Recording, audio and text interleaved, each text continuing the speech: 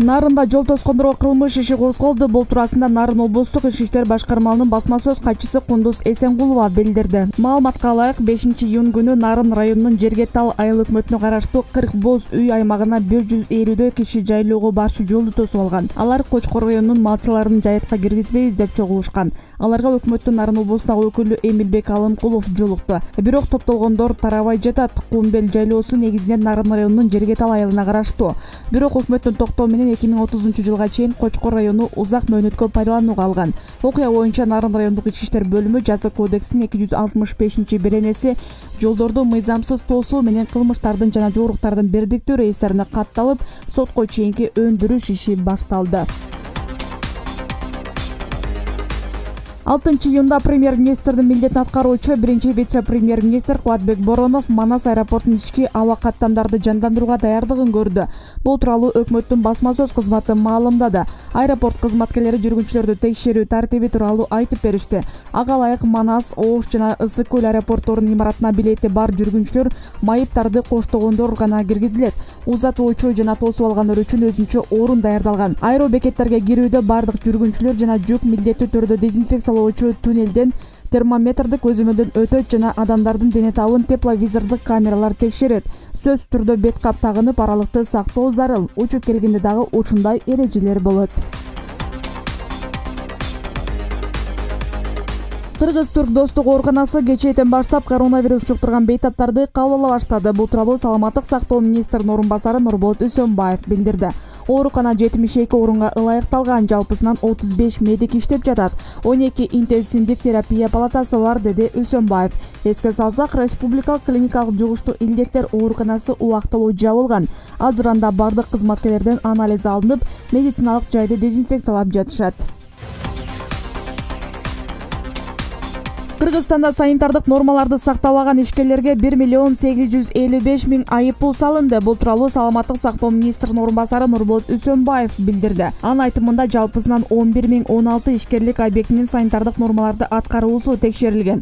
Натыйжада 5546 ООЗК ескертүү, 1271 жазу түріндегі ескертүү берілген. Ал эми 1250 объектіге 1 миллион 855 миң сом айып салынған. 17 мекемеге каттоо чара көрүү үчүн документтер укук коргоо органдарына өткөрүп берилген. Кыргызстан боюнча он жети мекемеде оорунун жугуу ыктымалдыгы абдан эле кооптуу кырдаал түзүлгөндүктөн аларга катуу чара көрүүгө мажбур болушкан күн ысыса коронавирус жукпай калат деп ойлоо туура эмес. Бул тууралуу өкмөт үйүндөгү маалымат жыйынында саламаттык сактоо министринин орун басары билдирди. Министрдин айтымында бул жерде дүйнөлүк саламаттык сактоо уюму чыгарган тыянактарга таянып айтсак туура болор аба ырайы ысык экенине карабай коронавирусту жуктуруп алууга болот. Климаты ысык мамлекеттерде аларда коронавирус жуктурган учурлар бар экенин билдирип жатат. Ошондуктан сыртта күн ысык биз коронавирус жуктуруп албайбыз деп ойлоо туура эмес. Бет кап тагынып аралыкты сактоого жеке гигиенага көңүл бурууга чакырам бетин кармалаган адамдарды көп көрөбүз. Ооз мурунду көздү жалпы эле бетти кармаганга болбойт өзбекстанда ковид он тогуз коронавирустук инфекциясын жуктургандардын саны төрт миң жыйырма эки адамга жетти. Бул тууралуу өлкөнүн саламаттык сактоо министрлиги билдирди. Маалыматка ылайык өлкөдө сутка ичинде коронавирусту жуктурган элүү жети учур катталган. Ал эми бир жүз алтымыш бейтап илдеттен айыгып реабилитациялык борборго жөнөтүлгөн. Белгилей кетсек өзбекстанда карантин он бешинчи июнга чейин узартылган. Аймактардагы эпидемиологиялык абалга жараша кызыл сары жана жашыл сыяктуу карантиндик чектөөлөр коюлган сегизинчи июндан тарта сары жана жашыл аймактарда карантиндик коопсуздук чараларын сактоо талаптары менен шаардык жана шаар четиндеги маршруттардагы коомдук транспорт иштей баштайт. Метродон тышкары ошондой эле сегизинчи июндан тарта диний мекемелер өз ишин жандантат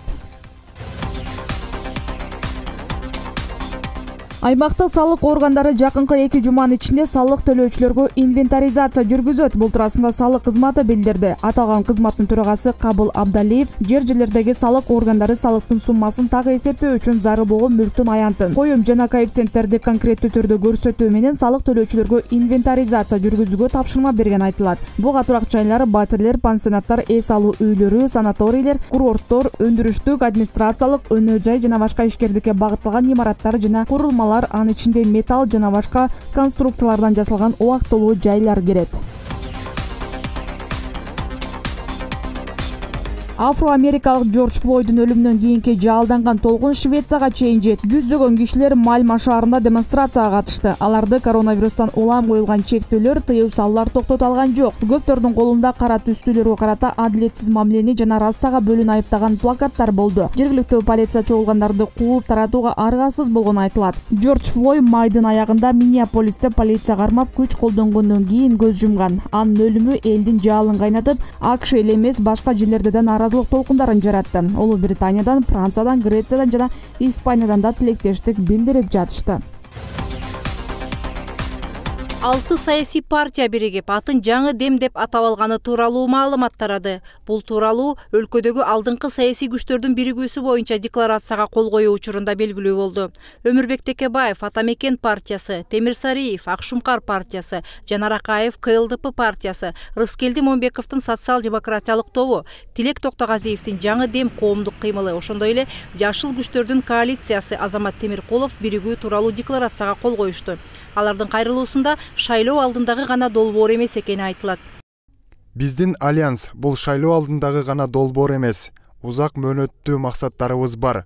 Негизги максатыбыз келе жаткан парламенттик шайлоого катышуу жана жаңы күч катары элибиздин ишенимине ээ болуу. Биз жаңы дем деген уран алдында бириктик жана кыргызстаныбызга жаңы дем болчу саясий күчтөрдүн жаңыланышын максат кылабыз биз баардык саясий партиялар жарандык коом өкүлдөрү менен конструктивдүү кызматташууга даярбыз жана мекендин келечегине кайдыгер карабаган жарандарыбызды өз катарыбызга чакырабыз. Ата мекен партиясы саясий күчтөрдүн биригүүсү шайлоонун жыйынтыгына олуттуу таасир эте алат деп өздөрүнө өтө ишенип жаткандарын жар салышты. Бирок өлкөнүн тарыхында саясий күчтөр ири өнөктүк алдында бириге калып кийин шайлоодон өтүп алган соң ар кимиси өз жолуна түшкөн учуру бир нече ирет кайталанган бирок ошол төрт бешөө бириккенде баарыныкы жүз пайыз тең бир багытта барат бир ой менен бир пикирде дегенден алыс болуш керек. Арасында спикер болгону бар арасында премьер министр болгону бар өкмөттү жетектепчи. Тажрыйбалуулары бар жаштары да бар болуп атат. Мына ата журт республика бир болду эле кийин бөлүнүп кетпедиби? Анан ал совсем партиялардан чыгып кетип дагы өзүнчө группа түзүп иштеген депутаттар болуп атпайбы себеби жалгыз партия жеңип ала турган мүмкүнчүлүгү жок.